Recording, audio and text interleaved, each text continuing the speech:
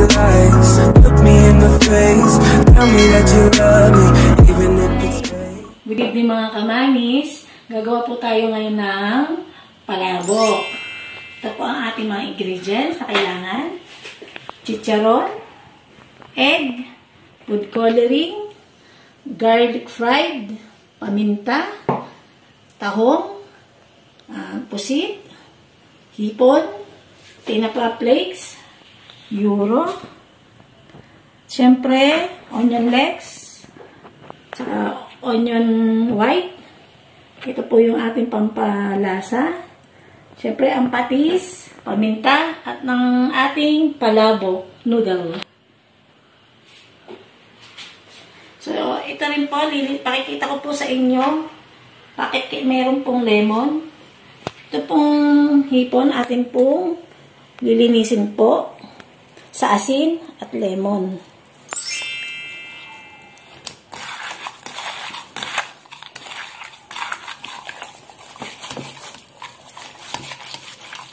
Para hindi po siya malangsa, kaya po ganyan.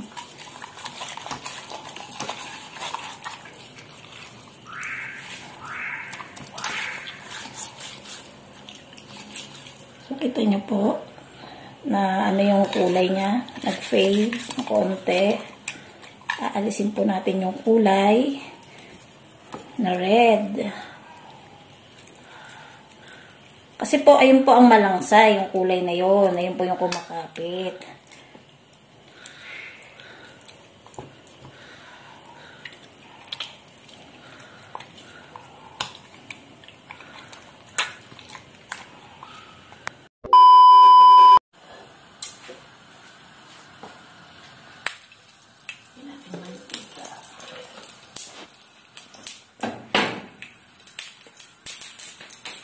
Lagay po natin ang sibuyas.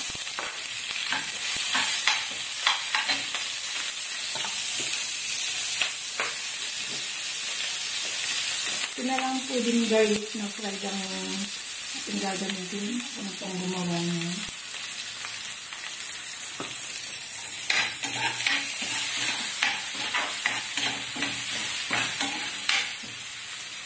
Gigisa po natin ang tahong.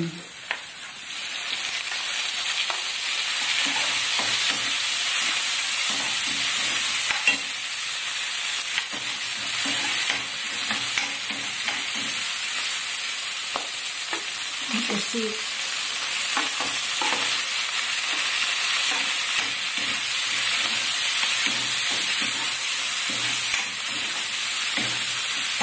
Sama na rin natin ang hipon.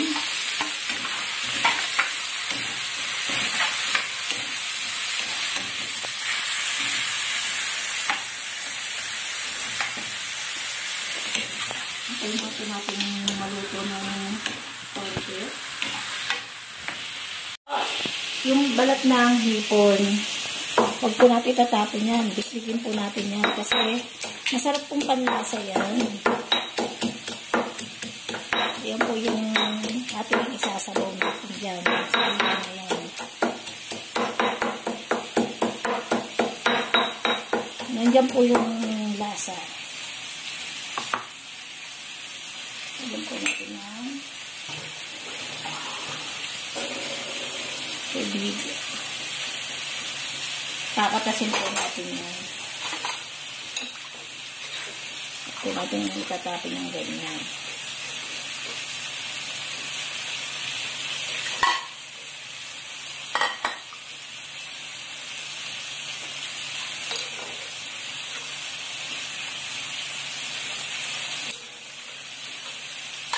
Ito po yung ating gawin sabaw. Ay mga lasa ang kalabas natin.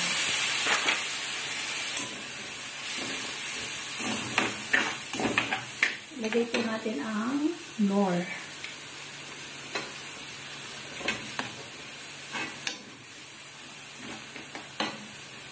Ang ating tinapa. Tinapa flakes.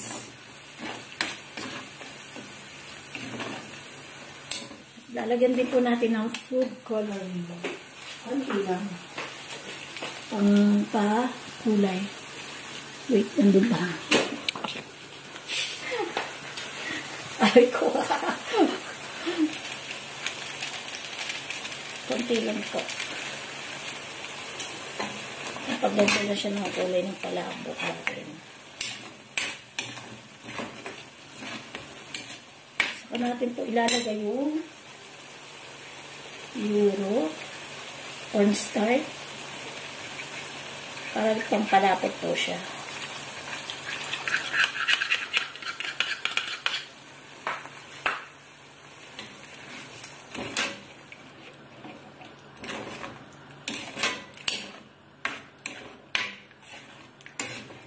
Lagyan po natin ng fish sauce. Patis po. Ito ang gagawin natin pang lasa, pang paalat. So, yan.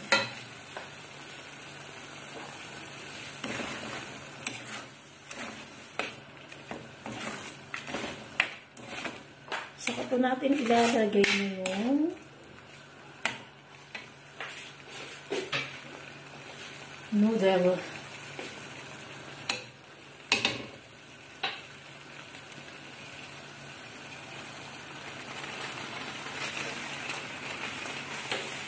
Patay na po natin kasi luto na po yan.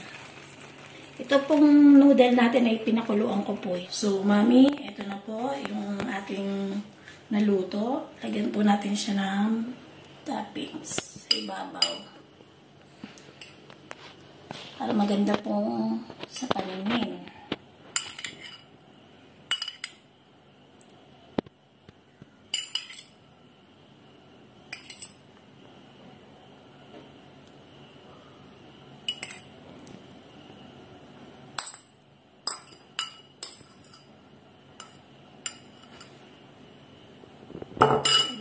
Natin ng fried garlic.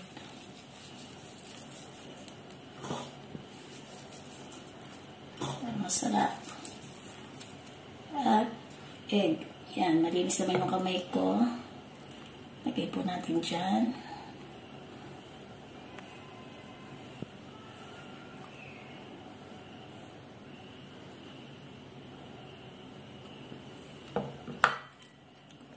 Lemon po ang ating gagamitin kaysa sa kalamansi. So, ayan na po ang ating finish na palabo. Ito po, titikman natin. Punta ng lemon. Bigyan natin masarap yung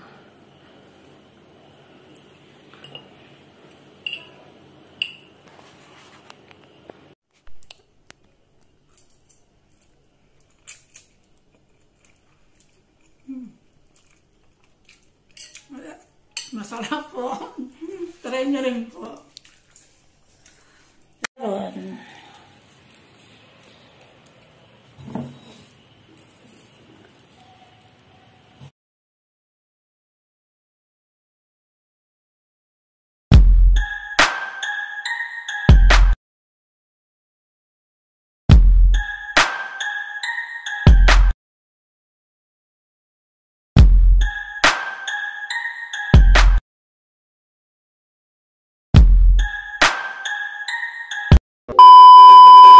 Shoutout nga po pala dun sa isang subscriber ko na tanong niya ano daw nangyaring maganda sa buong buhay ko. Yung sa iba po siguro pangit kasi 'di ba COVID nga. Ito po ang sa akin. Nagpapasalamat po ako na nagka-COVID kasi po yung nakakakilala po sa akin, alam na siguro nila yung sitwasyon ko. Ang sitwasyon po namin, ang asawa ko ay nandito sa Baguio City. Kami naman po ay nasa San Pablo City. So, hindi po kami magkakasama. Tapos, may isa po akong high school na anak, nandito rin po nag-aaral. So, thankful po ako nagka meron ng COVID dahil kung hindi dahil po sa kanila, eh, hindi ko po makakasama ang aking pamilya. Hindi po mabubuo. So, dun po sa Mr. Song o Miss Song, ito na po yung kasagutan ng tanong mo. Thank you! Don't you lose sight?